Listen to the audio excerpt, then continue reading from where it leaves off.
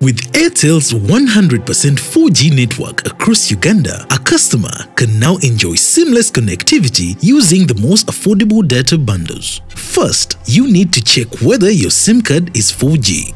Dial star 175 star 9 star 6 hash. A confirmation of SIM card status message will be sent. If your SIM card isn't activated to 4G, visit the nearest Airtel service center or SIM card selling outlet. Present a valid national ID for Ugandans, passport for foreigners, or refugee card for refugees. A registration form will be presented to you to fill out. Our Airtel agent will then upgrade your SIM card for free at the Airtel service center and for 2000 shillings at a SIM card selling outlet. You will then be connected to the Airtel 4G network and instantly get free 5GB valid for 7 days. To purchase more of Airtel's affordable data bundles, dial star 175 hash.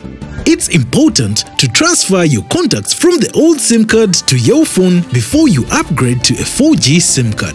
Enjoy the best speeds and most affordable data bundles on Airtel, the smartphone network.